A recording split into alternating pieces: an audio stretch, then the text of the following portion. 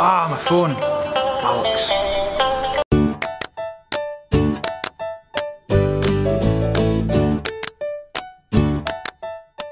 I was in bed last night thinking about this knife that I'm making. Obviously that's what I think about when I go to bed. One of the problems with the knife is it's it's becoming so small that it's it's difficult to open and close. Um, that's to be expected really.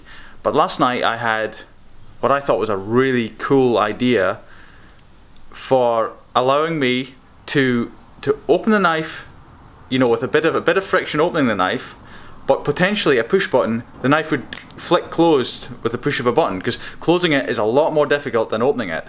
So I'm going to have a little stab at that idea just now and we'll see how it goes. I have just done some sketching and I think the idea might actually work.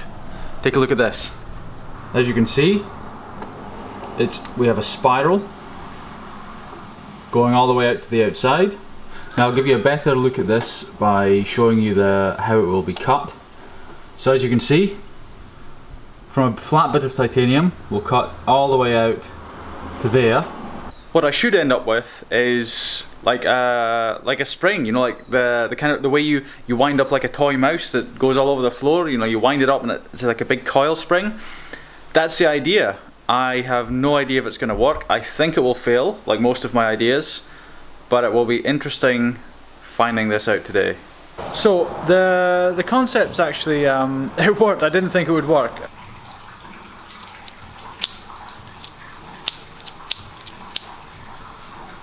That's right.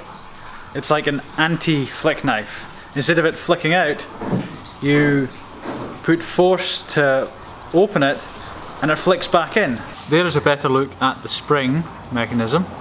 Really, really ugly, but it works, that's the main thing. And so when I flick that, I should really be doing it with my other hand so you can see the front of it. So there we go.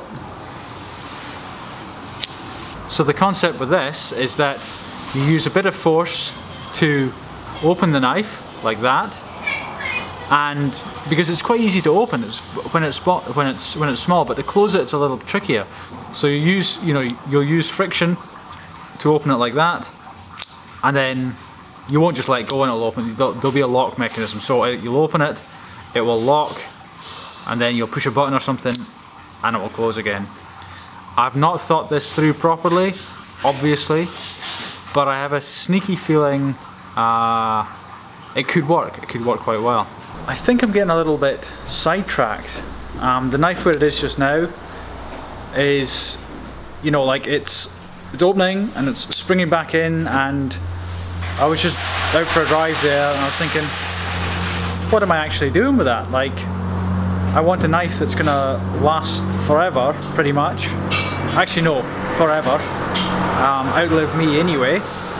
Yet I'm putting a, I'm putting a, a spring mechanism in it, like this,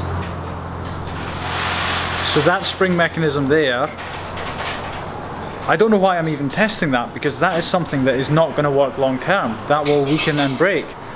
So yeah, I'm going to have to rethink things a little bit. And then you'll push a little button or something and I'll just go, oh, broke. right,